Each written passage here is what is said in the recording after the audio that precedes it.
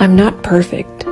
Yeah, I'll annoy you, piss you off, and say stupid things. But I promise you, I'll love you more than anyone in the world.